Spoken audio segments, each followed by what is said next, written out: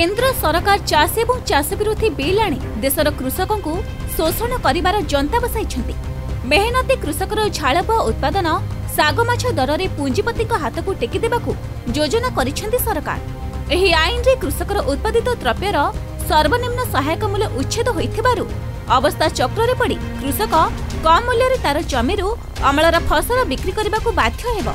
ଭାରତୀୟ ରାଷ୍ଟ୍ରୀୟ ମଜଦୁର କଂଗ୍ରେସ ସହିତ ଅନୁବନ୍ଧିତ ନିଖିଳ ଉତ୍କଳ ଗ୍ରାମୀଣ ଚାଷୀ ମୂଲ୍ୟ ସଂଘ ତରଫରୁ ଆଜି କେନ୍ଦ୍ରାପଡ଼ା ଜିଲ୍ଲାପାଳଙ୍କ କାର୍ଯ୍ୟାଳୟ ସମ୍ମୁଖରେ କେନ୍ଦ୍ର ଏବଂ ରାଜ୍ୟ ସରକାରଙ୍କ ବିରୁଦ୍ଧରେ ଏକ ପ୍ରତିବାଦ ସଭା ଅନୁଷ୍ଠିତ ହୋଇଯାଇଛି।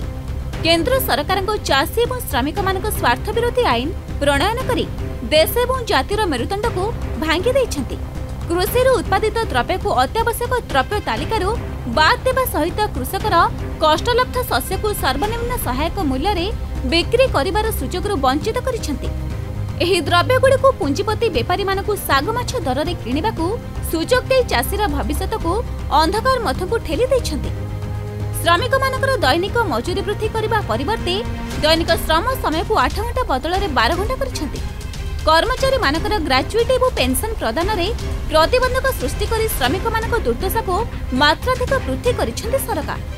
ନିର୍ମାଣ ଶ୍ରମିକ ପଞ୍ଜୀକରଣ টুয়েল সাইকেল প্রসূতি, বিবাহ, মৃত্যু, শিক্ষা এবং দুর্ঘটনা সহায়তা বর্ষ বর্ষ ধরে প্রদান করা যাও না অন্য রাজ্যমানকরে করোনা সহায়তা রাশি পাঁচ হাজার টঙ্কা দিয়া যাওয়া বেড়ে আম রাজ্যে নির্মাণ শ্রমিক মানুষ সমুদ্রক সংখ্যে ভি পনেরশহ টঙ্কা দিয়া যাচ্ছে যা আজ পর্যন্ত ষাঠিয়ে প্রত লোক মিলে না বিদেশ এবং বাহার রাজ্যর জীবিকা হরাই ঘরক ফেরি শ্রমিক মানুষ কার্য যোগাই দেবার রাজ্য সরকার বিফল হয়েছে ଏହିସବୁ ଦୁର୍ଦ୍ଦିନରେ ଲୋକମାନେ ଗତି କରୁଥିବା ବେଳେ ବିଦ୍ୟୁତ୍ ଶୁକ୍ଳର ମାତ୍ରାଧିକ ବୃଦ୍ଧି ବେଡି ଉପରେ କରୋନା ମାଡ଼ ସଦୃଶ ହୋଇଛି। ଏହିସବୁ ସମସ୍ୟାର ସମାଧାନ କରିବା ପାଇଁ ସମସ୍ତ ବିରୋଧୀ ଦଳ ସାମାଜିକ ଏବଂ କୃଷକ ସଂଗଠନ ଉଭୟ ସରକାରଙ୍କ ନିକଟରେ ଦାବି କରିସାରିଲେଣି। କିନ୍ତୁ କେହି କର୍ଣ୍ଣପାତ କରୁନାହାନ୍ତି। ଏଣୁ ଆଇଏନ୍ଟିୟୁସିର ଶ୍ରମିକ ସଂଗଠନ ତରଫରୁ ଉଭୟ ସରକାରଙ୍କ ପ୍ରଣୀତ ଆଇନ ଏବଂ ନିଷ୍ପତ୍ତି ବିରୁଦ୍ଧରେ ବିକ୍ଷୋଭ ପ୍ରଦର୍ଶନ ପୂର୍ବକ ପ୍ରତିବାଦ କରି ମହାମାନ୍ୟ ରାଜ୍ୟପାଳଙ୍କ ଉଦ୍ଦେଶ୍ୟରେ ମାନପତ୍ର ଜିଲ୍ଲାପାଳଙ୍କ ଜରିଆରେ ପ୍ରଦାନ କରାଯାଇଛି ସଂଘର ସଭାପତି ତଥା